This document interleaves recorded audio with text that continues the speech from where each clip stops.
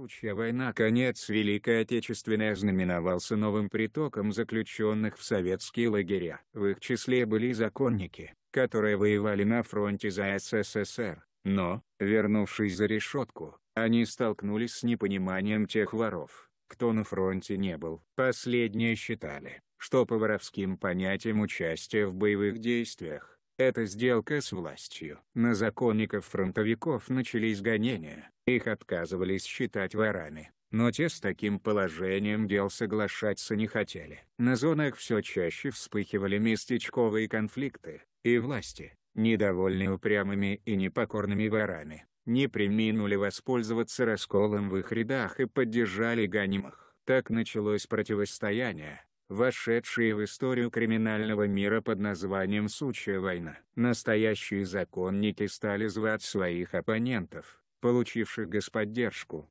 ворами разложенными, а чаще, просто суками. Почувствовав за собой силу, суки стали не просто стремительно давить противников, а еще и обращать воров старой школы в свои ряды. Делалось это через особые ритуалы. Чтобы перейти к сукам, законнику было достаточно, к примеру, поцеловать лезвие ножа или ударить в колокол ударить тяжелым предметом по заранее подготовленной рельсе. Воры разложенные не гнушались убивать противников, которых между собой называли баранами. Ворам старой школы отрубали головы, сжигая их током, резали ножами, а порой совали раскаленный лом в задний проход. Такие садистские приемы способствовали массовому притоку к сукам законников которые не хотели в страшных муках расстаться с жизнью. Уже после окончания сучьей войны многие из переметнувшихся пытались вернуться к ворам старой школы, но приняты не были.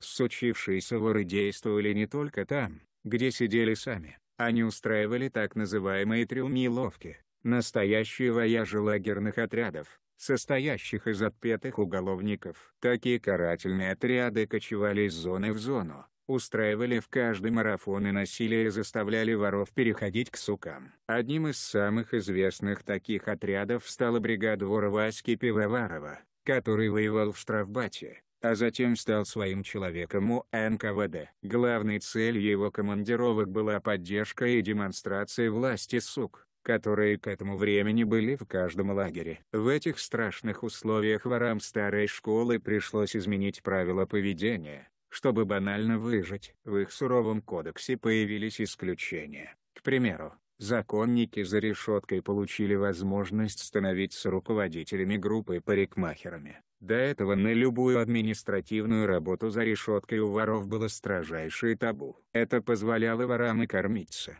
и обороняться, нередко ножницы, тайно унесенные из лагерной цирюльни, служили оружием при нападении сук. Несмотря на эти уловки, к середине 50-х годов, когда сучья война закончилась, поголовье законников сильно сократилось, часть воров была убита, часть перешла к сукам. Но были и те, кто сумел залечь на дно, пережить резню и дождаться своего часа.